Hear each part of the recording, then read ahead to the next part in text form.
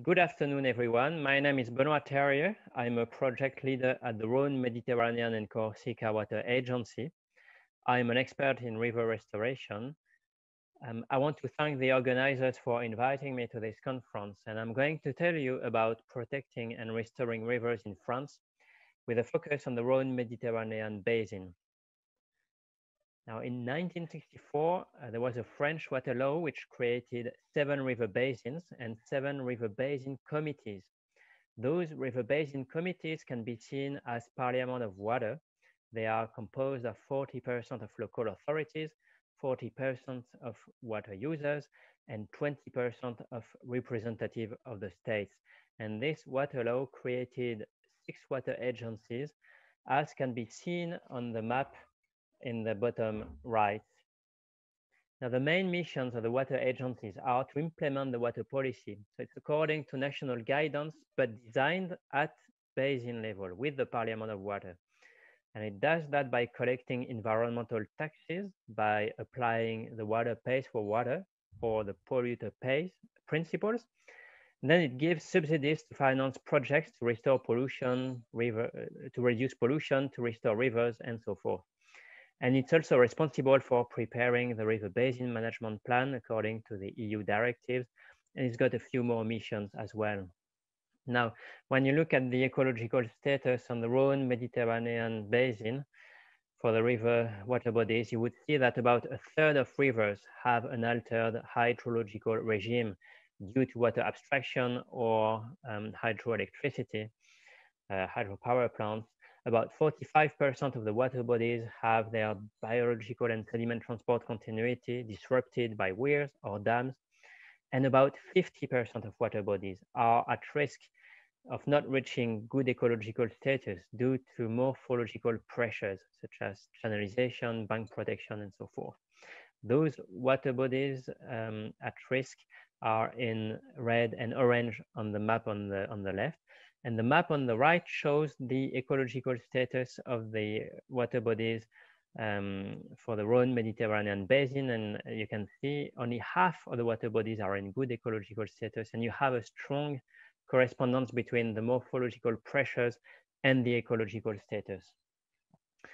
Another important piece of information to explain the French context is the fact that in France, one in four inhabitants is exposed to flood risk. Um, and the Rhone Mediterranean basin is the river basin the most exposed to flood risk in France, uh, as can be seen on the map on the right, which was produced uh, for the National Preliminary Flood Risk Assessment in 2012. Now, there was really the need for a new law on managing aquatic environment and flood risk. Why?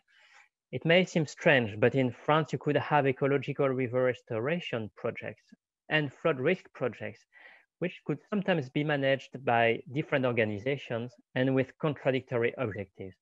There was really a big cultural gap between people working on river restoration projects and the people working on flood risk. So uh, in 2014, there was a new law on the modernization of public action, which created a mandatory competence for the management of aquatic environment and flood risk and it gave it to municipalities and groups of municipalities. And by 2018, the responsibility for the maintenance and restoration of watercourses and flood protection structures uh, belongs exclusively to municipalities and cooperation structures with taxation powers.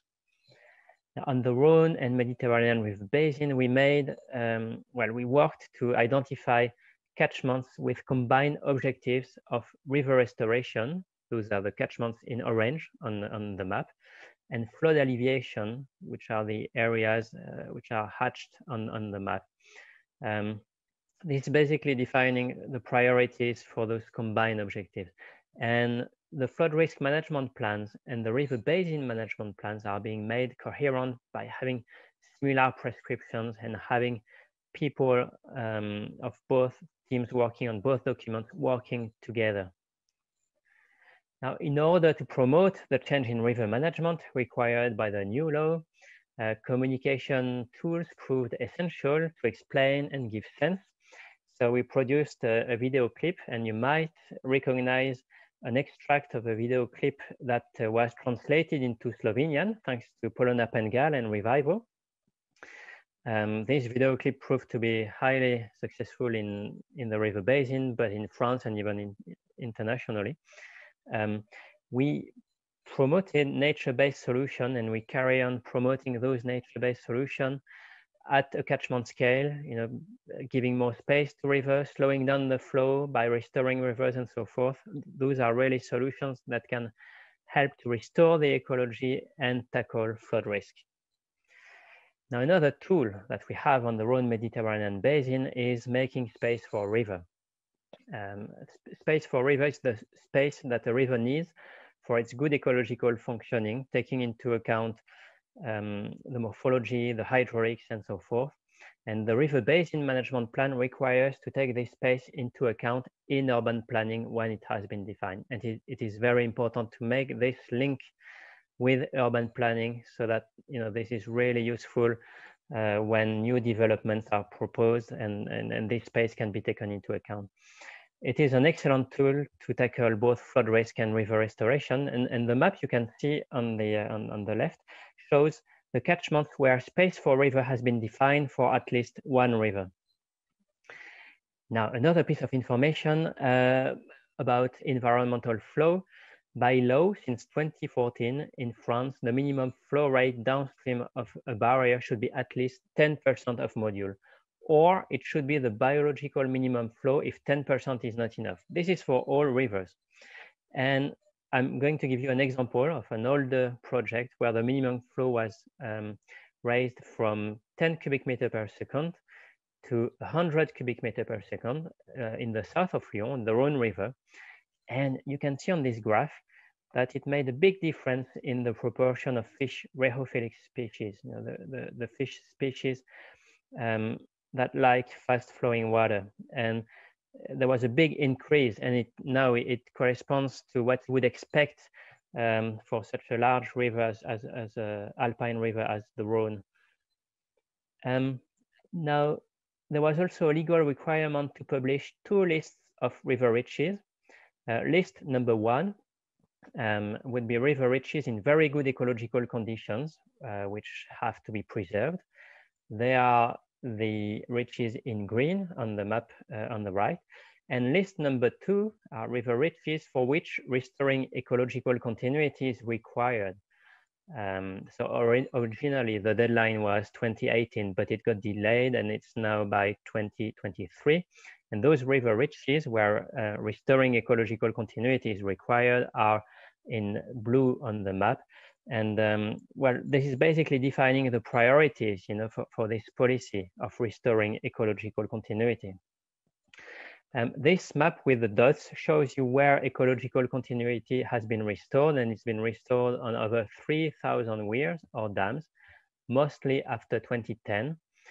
So, you know, is it a lot or not? You know, the, the total number of weirs and dams on the river basins is 24, nearly 25,000 weirs. So there are many, many structures, but the priorities have been defined and you can see that quite significant progress has been accomplished, even though there is still a lot more to be done.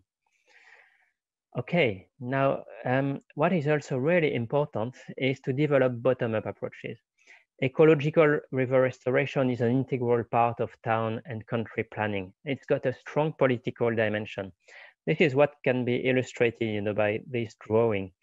Um, and decision makers, you know, need to see the multiple benefits of having a, a functional uh, river from an ecological point of view, because it will have benefits in, in terms of water quality, quality of life, having a more natural environment, and also in terms of um, some economic uh, water uses, you know, from touristic point of view and so forth. Now, what we have also is that many projects um, now would have a planned listening phase where one listens to stakeholders and people, um, typically through, through interviews. Um, and this is used to design more integrated projects. Um, another thing which is really important is at the start of a project to explain to stakeholders and decision makers how a river works, you know, explaining basic principles of fluvial dynamics. and what the multiple benefits of a functional river are um, and why preservation and restoration are essential. What we see as useful is trying to explain the history of, of the river and its floodplain, as can be seen, for example, on the aerial photograph um, on, on, on, at the bottom. You can see, for example, that uh, a floodplain might become developed, um, built, and then you have a large flood that arrives and, and it would bring you know, much um, destruction. So preserving space for river is not just for the ecology, it's also for many rivers um, for uh, important for uh, in terms of flood risk. Right, this graph shows you um, the cumulated um, morphological river restoration that took place since 2013. So we have restored about 500 kilometers of rivers within six years for and we spent about 450 million euros on river restoration. So between 2013 and 2018 was a similar budget, budget applied for the following six years, slightly less. Now I'm going to give you a couple of examples. So the river Yzeron um, has, a, is located in the south of Lyon. It's a, it's an urban river. It's in a, um, it's been very channelized. Um, and a concrete channel was removed. Um, over one kilometer of concrete was removed. Concrete channel was removed, and a gravel bed was recreated. Large woody debris were added. More space to the river was also given by removing a car park. Eight weirs were removed, uh, and restoration took also place on 27 weirs in the catchment. Uh, that took place within 15 years. And those striking photos that you can see are the um, photos of the rivers before and after restoration.